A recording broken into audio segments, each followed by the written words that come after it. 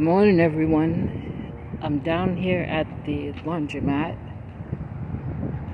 Have 19 minutes till I gotta put stuff in the dryer, so I thought I'd call you up and take a walk and talk. And I hope the wind is not too much or the traffic, but this laundromat is on a major road.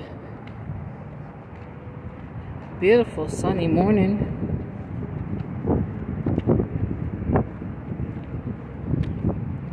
It felt really good to get that lean-to cleaned out and things organized and I I got a bag of um, some clothes and a few books together yesterday and went and dropped them off at a donation bin. This uh, building here I showed you before was in this field. This was a um, like a kids softball, baseball training place. And a couple weeks ago, I found out that it's not here anymore. Oh, it says baseball, football, combined training, soccer, fast pitch softball. Yeah. I mean, the building is here and the field is here but the business is not. Now, I don't know what happened. Someone at the laundromat whose son was coming here said that um, it had something to do with the pandemic. Some parents were have been out of work and couldn't afford to pay for the training. And someone else said that the owner bought another building across town. So I don't know you see that uh, can't see what you're seeing. You can see that fake grass that turf whatever.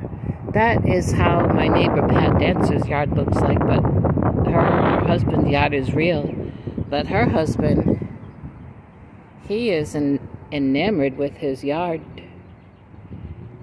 His um yard keeping skills, I guess you call it. He's real proud of his lawn, and, and it, I would be too. But his is just like that. Look how even all that is. Of course, that's all fake, but hers isn't. Here's a, well, you can tell what it is. It's a cemetery.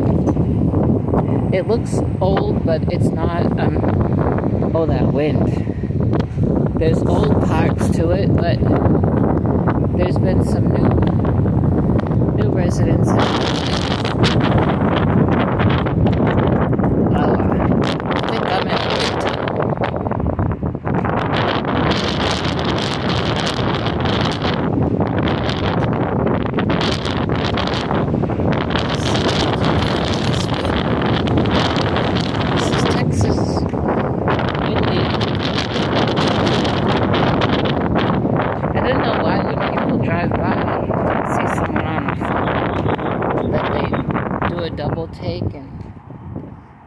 It's strange to see someone on the phone walking.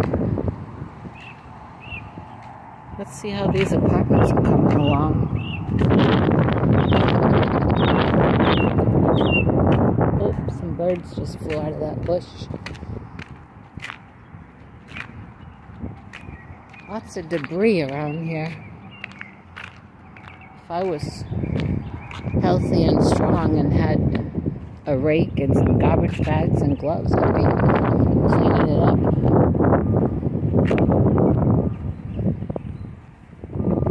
Well, I don't know.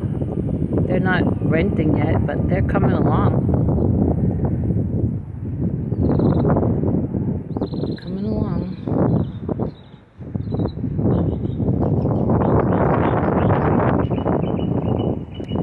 Some wonderful, spectacular, awesome happy mail yesterday that I'll be doing the video on. See all that stuff, the wind is blowing everywhere. Makes me want to clean it. But I don't have... Oh, Oh, look. Uh, I don't have gloves and all that. Yep, that's gone out of business. They have those two nice fields. I don't know what's gonna go in it. They got a big dumpster there, like they're taking things out. In my closet inside that I showed you, I started to clean. I got everything out of it and wiped down the inside of it. Um, been going through those clothes and those linens.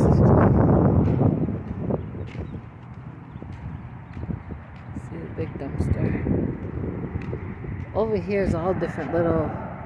On the end here was a church, and um, it hadn't been been there that long, a couple years, and when the pandemic came, I don't know what they did, but they've not come back.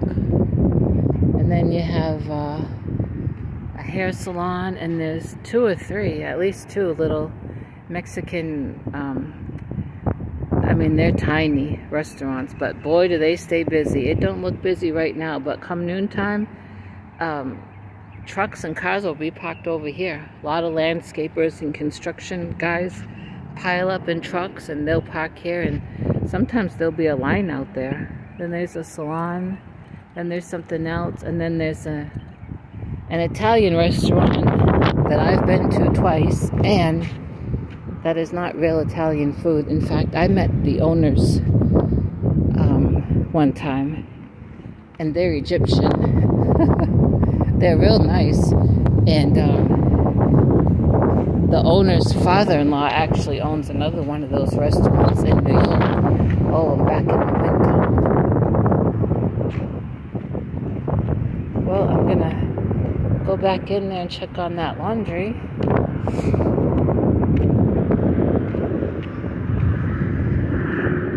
Lisa, the Grammy, and Jill Fiberfloozy and possibly someone else commented on that.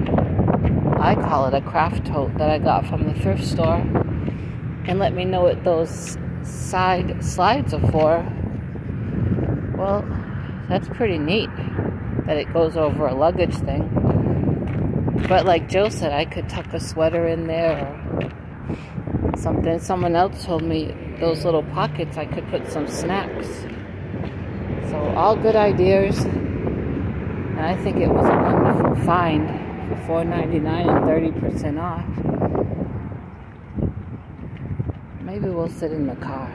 Maybe that's where I should have done this video. Ah. What are we going to look at? I just don't feel like hanging up yet. I feel like there's something else I was going to tell you about. Let's see, the Happy Mail.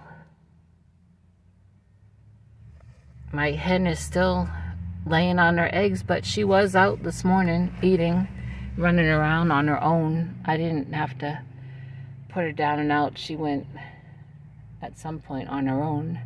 And then when I left to come to a laundromat, she had gone back in on her eggs. A lot of people out today on, on our main road there. That road is, um, it's called Highway 78 and it takes you, you go all, the way down there. It takes you into Garland, Dallas even. Then if you go the opposite way, it takes you out into the country. Lavon, Nevada, Farmersville, Josephine, it's all country out there. I've been out there and I like it, but most times I go out there, I get lost.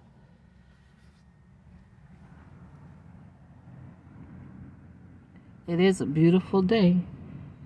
When I leave here, I, I will be needing to go to the grocery store to get a few things, and then I'll go home and I will um, go through some more things that was in that closet. So I need to do that video. Someone wants an update on my closet. And I also need to do Happy Mail video sometime today. So one of those videos will be my Veda number 8 video. And I am crocheting on my 2022 Scenic Beauty Calendar Cow blanket. Um, I've started my Sunny the Chicken. It's a pattern I bought from Crystal the Crazy... Mm, Crystal the Yarny Crazy cat and chicken lady. So I'll, I'll need to be showing that. So I have a list of things I need to show. But I'm going to go back in there now and check on the laundry. And I will talk to you later.